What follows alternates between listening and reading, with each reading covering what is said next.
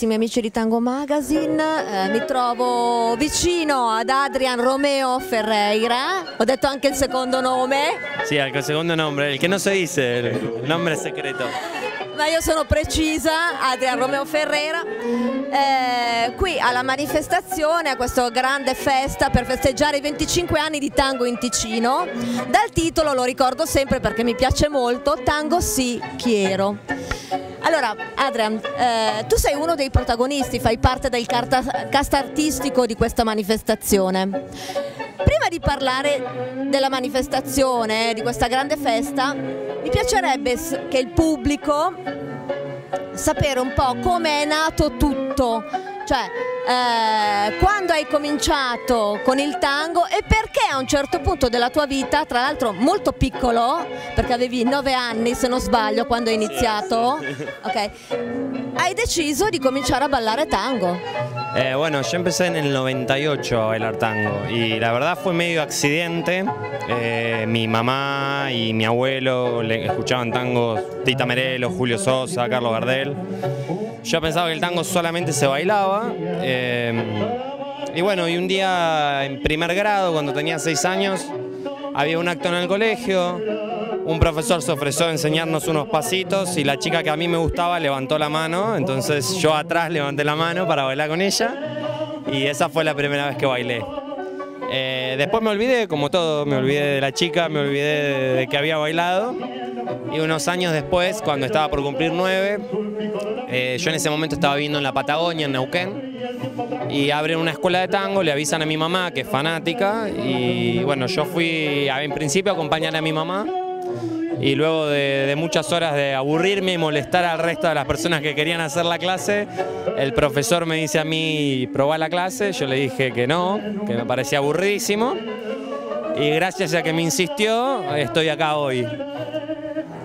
Poi a un certo punto sei venuto a, a conoscenza, insomma, hai impattato con eh, la scuola, nella scuola, non so se nel, nel 2004-2005, la scuola di Dana Frigoli e Pablo Villarazza. Sì, la DNI Tango. Tu sei adesso il portavoce praticamente, no? Cioè, eh, sei uno dei principali esponenti della DNI Tango e vai in giro per il mondo per portare proprio eh, questa tecnica nei tuoi workshop, nei tuoi stage.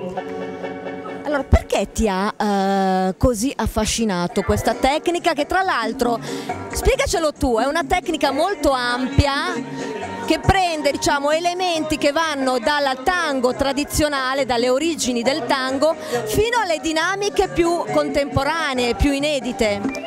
Sí, de hecho yo conocí a Pablo Dana en el 2004 en un festival en Mariloche. Eh, los había visto primero por el canal Solo Tango y estaba enamorado, lo había grabado y lo veía y lo veía. Y bueno, cuando tuve la posibilidad de conocerlos personalmente, me enteré que iban a abrir la escuela y ahí hice todo lo posible para ir de Patagonia a Buenos Aires a, tomar clases con ellos. Eh, yo venía de un tango muy diferente, un estilo Dinsel, y la verdad me encontré con una manera muy orgánica de mover el cuerpo, muy, muy natural, muy cómoda. Eh... Cioè, cerca di eh, eh, compendiare i movimenti naturali del corpo con i movimenti del tango, giusto? Sí, sí, sí, sí, se estudia mucho la mecánica corporal eh, y eso te permite generar un tango con características como, que te puedan gustar más tradicional o, más nuevo o más en un estilo que la gente lo quiera encajar, que a mí personalmente eso no, no, no me llama la atención como definir al tango como una forma, sino entender al cuerpo como uno y las cosas que son eh, sanas y lindas de sentir en el cuerpo. Eh, eso siento que es lo que más me aportó a mí de Neitango.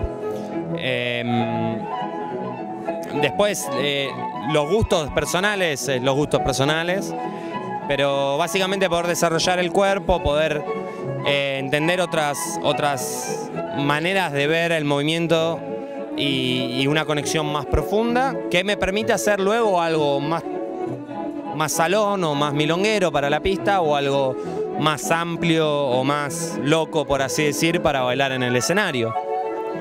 una una tecnica che comunque eh, praticamente è il frutto eh, ed è il risultato di una ricerca, di un'investigazione, eh, di una sperimentazione durata nove anni tra, che ha fatto Dana e Pablo. No? Sì. Dove, tra, hanno messo dentro investigazione, sperimentazione sulla danza classica, danza contemporanea, biomeccanica, yoga.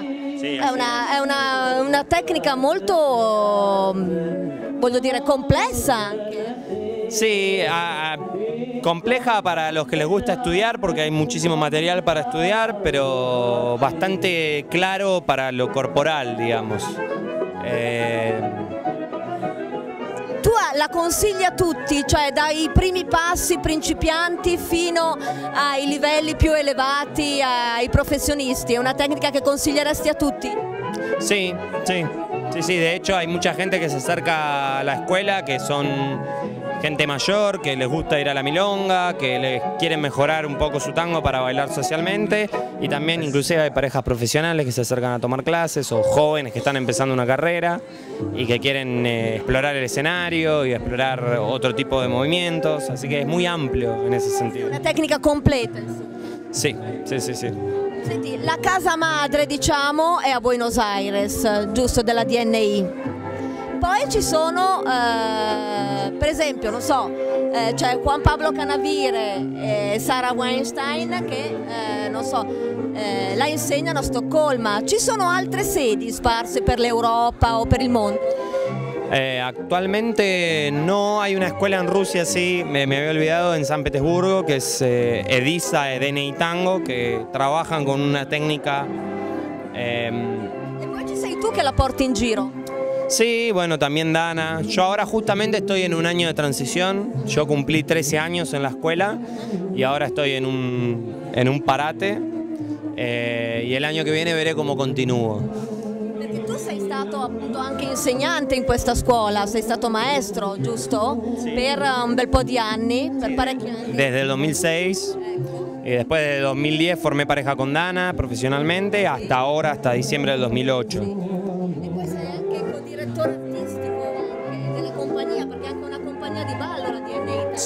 Sí, exactamente. Estuve ah, eh, bueno, co- co-dirigiendo la parte artística eh, la asistencia coreográfica junto con Dana. Eh, obviamente Dana es una, una maestra, una genia, tiene una potencia para, para crear y mucho amor. Eh, y eso hace que siempre el grupo humano que, está en la escuela sea maravilloso. Después estuve los últimos 3, 4 años trabajando con la pedagogía de la escuela. Eh, y bueno, y hoy actualmente ya eh, estoy viajando e investigando otras cosas además del tango. Tu stai portando in giro anche la- una, una parte, diciamo, della tua tecnica che è ehm, per, diciamo, sulla leadership. Sí. Ecco, infatti mi sembra che una settimana fa, qualche giorno fa, hai tenuto degli stage proprio qua in Svizzera. Sí. Che cosa consiste precisamente questa- queste, queste lezioni, questi workshop, questi stage? Eh, bueno, básicamente son, eh, fue la semana pasada, fueron eh, ejercicios sobre cómo ser líder, sean tantos hombres o mujeres que quieran dedicarse al rol de líder, tener herramientas, ejercicios para poder practicar solos, comprensión de lo que es el peso, de dónde está el peso de la otra persona, de cómo, cómo sentir el peso durante el movimiento eh, y eso transmitirlo en, una forma, en un, sí, en una forma, en un código de tango. Eh, eso fue más o menos lo, que se estuvo trabajando este seminario. Pablo Veron eh, sostiene, afferma che eh, non si può ridurre il tango a forme e geometrie, cioè, ma che bisognerebbe prima imparare bene la tecnica, ma a un certo punto sospendere il pensiero e lasciarsi andare all'emozione, alla spontaneità. Ho capito? Insomma, fosse facile. Come si riescono ad acquisire queste capacità e queste competenze? Es más o menos como una partitura, ¿no? Uno, lo que sería la, técnica o la estructura del baile, sería las cosas que están, las notas que están dibujadas en la partitura y la manera de tocarlo es la emoción y el sentir de cada uno. Eh, es una combinación muy, muy difícil, muy... Pero se logra, o sea, lo importante es como todo, ¿no? Es tener una una capacidad de entender que uno puede estudiar para mejorar, pero para bailar hace falta corazón y cabeza. No solamente corazón y no solamente cabeza. Entonces poder estar en unir esas dos cosas es el arte de bailar. Direi che possiamo finire proprio su questa frase di Adrian, quindi corazón e cabeza. Cabeza, sí, obviamente. Grazie. Placer. Muchísimas gracias. A usted.